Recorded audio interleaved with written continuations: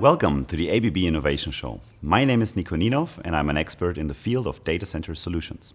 With me in the studio is Francesca Sassi, expert in the field of data center applications, and we are very pleased to present you the following innovations. Hello, everyone, and thank you, Nico. I'm also very pleased to be able to share some exciting moments with my colleagues today and talk about some interesting new products. If we look back over the last few years, what would you say has changed enormously for us, especially in technological terms? The world has definitely become more digital. Digital and sustainable. Those who have long since transferred their work processes to the digital currency and are focusing on sustainable infrastructure will make the race in the future. Sustainable infrastructure is the right buzzword. The use of renewables in data center segment has grown rapidly. I recently read that Microsoft has fished one of its oldest data center out of the water, installed new servers and sunk it again, so they save on cooling. But if I now think a step further and imagine that we are all becoming increasingly dependent on data, computing power and connectivity.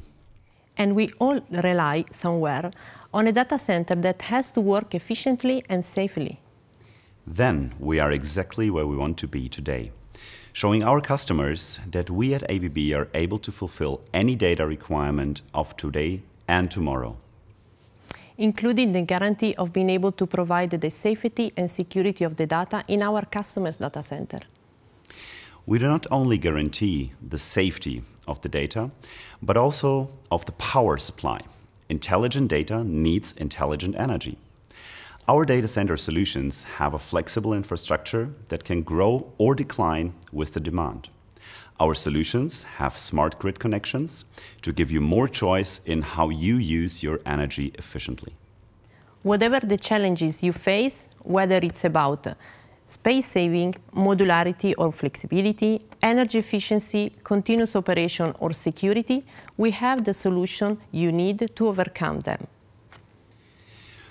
Now it's time to talk about the ABB Innovation Show, our sub-distribution offering for the data center. And what we can do for you to make your data center even more reliable and profitable. And of course, also in this show, we have an expert in the breakout room who will answer your questions during and after the show. Let's take a closer look at the typical mid-site data center. To give you a brief overview of what a data center consists of, you can see the individual components here in the infographic. The three most important ones are UPS and batteries, main distribution, sub-distribution. But who are the people involved in planning and designing such a data center? It is uh, two main groups, really. On the one hand, we have consultants, electrical planner, and system integrators. For these people, we have a great configurators that really helps in their work. On the other hand, we have uh, co-location providers and panel builders. And can you tell us something about their buying habits? The time-saving configurator tools are very important for the consultants and the planners and are the flexible and scalable solution.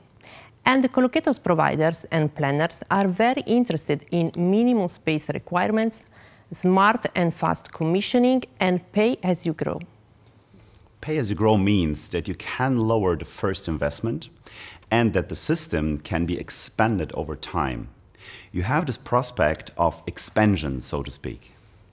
This is particularly important for colocation provider.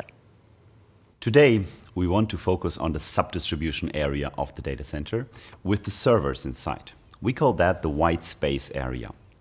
The distribution portion in the white space area is divided in multiple levels. At last level, before we go into the server racks actually, we have the remote power panels. This solution perfectly covers the needs of co-location providers for their pay-as-you-grow concept and panel builders which can reduce the assembly effort significantly. And don't forget the busbar distribution system.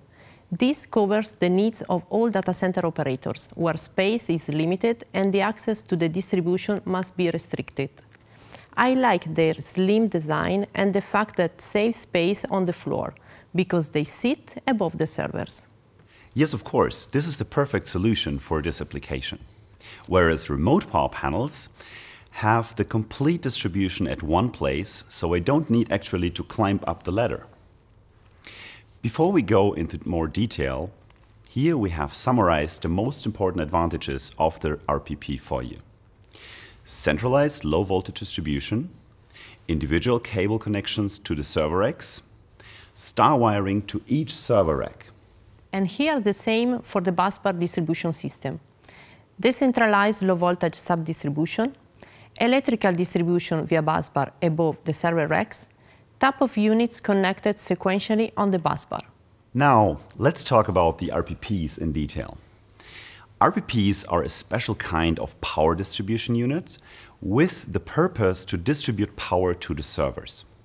The RPPs supply rack PDUs that are used inside the cabinets. Let's have a look at the main components of the RPP. At the top, we have the molded case circuit breaker TMAX XT4. Then, as a branch monitoring system, we have our CMS 700. And the sub-distribution is realized with SMISSLINE TouchProof, with the ability to really mount devices under load.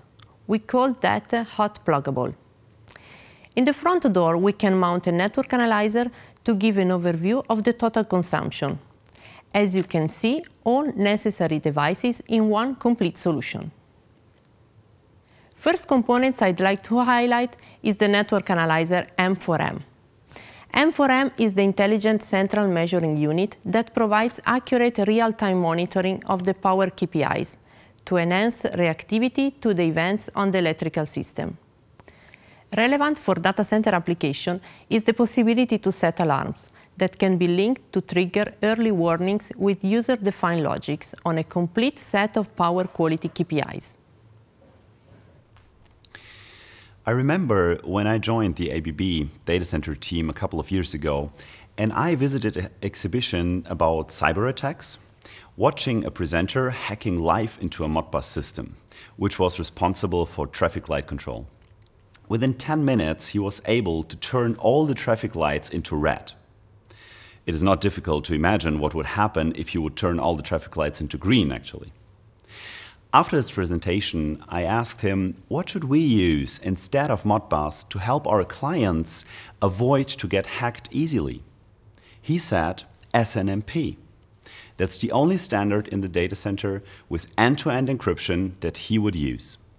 That's brilliant. Yes, and this is the reason why our branch monitoring system speaks SNMP from the day one.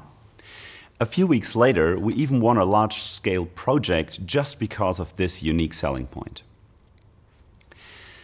We had another client in Ireland, that company name was R&D Engineering. They told us that they were building RPPs for a customer of theirs, but at the beginning, um, they wanted to just occupy the RPP only with empty um, small circuit breakers and leave the other 124 slots completely empty. But why? That is completely oversized. Yeah, exactly. That would be like laying out a main power distribution board and then just connecting a small torch. Then they explained us, no, uh, the customer wants to invest relatively little at the beginning, but expand the data center over time.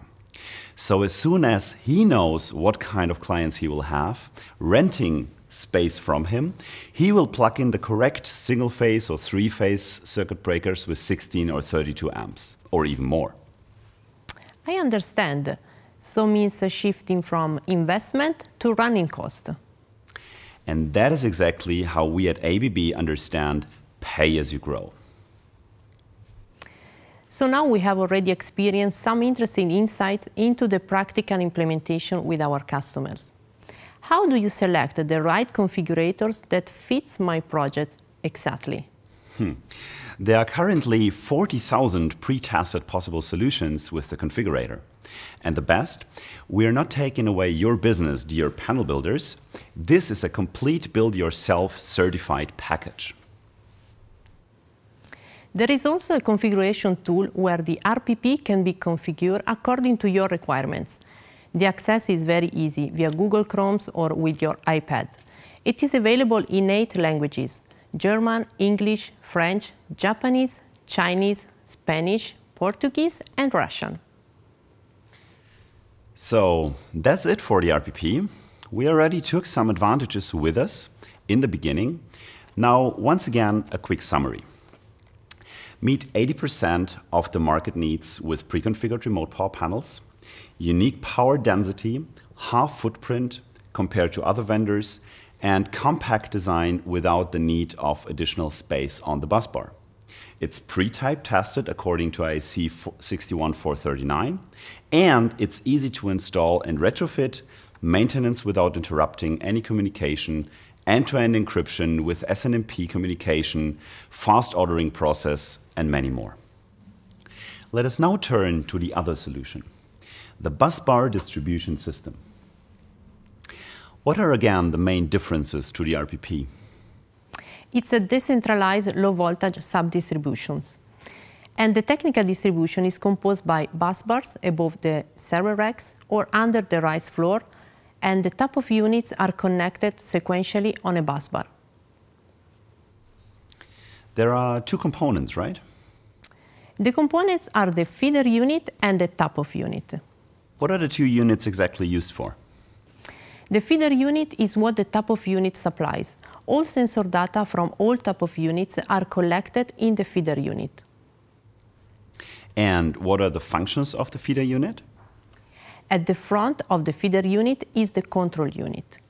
The control unit collects all the data. It measures the main power consumption at the input of the busbar, which the large current transformer. It must, of course, be protected with its own protection devices. The online and historical values are displayed on the web user interface. Here you can see the tap-off units in the full size. Francesca, um, ABB offers sensors for the tap-off units, right? What's special about them? Well, the sensors are so small that they can sit above the MCB and do not take up extra space in the unit. That's a real USP, making room for more MCBs in the tap-off unit, the only one in the market. Here we can see the individual products of the tap-off unit are miniature circuit breakers, S200 or S800 range, single and multipoles, CMS current sensor, industrial plugs and sockets. Let us have a look at the advantages of the busbar distribution system. It's easy to extend when expanding the busbar trunking system, low space requirements inside the tap-off units, maintenance without interrupting the busbar, retrofit into existing installations without any additional space requirements, and it reduces downtime by early detection of potential issues. Well, it seems that both solutions have good advantages. So why don't we let the audience make their choice? For our audience in the chat, you have now heard and seen a lot about the two solutions, RPP and Busbar. Which product would you choose now? Please write in the chat box, RPP or Busbar. Now, let's talk about other products and solutions in the data center that complete the server room applications. We start with our high-performance breaker. It can switch off extremely high short-circuit currents up to 50,000 amps. With this product, we are best in class. And here you can see a very good overview of our products and solutions. For example, the complete and wide OVR range designed to protect electrical system and equipment against transitory surges. If you don't plan to build a mid-sized data center, we can help you with our data center in a single enclosure. As a matter of fact, ABB, Rittal, and HPE developed a solution for clients who want to keep their data locally, for example, inside a factory, or if real-time production control software must stay within the local area network. We call that the Secure Edge Data Center. From ABB, we have UPS, SMISSLINE TouchProof, as well as high-performance breakers inside. It is designed for operating IT in harsh industrial environments, for example in production plants. It's flexible and scalable as per business requirements. It provides space reduction, innovative design, and lights out operation. The data at the edge remains safe at the edge. These are really many benefits.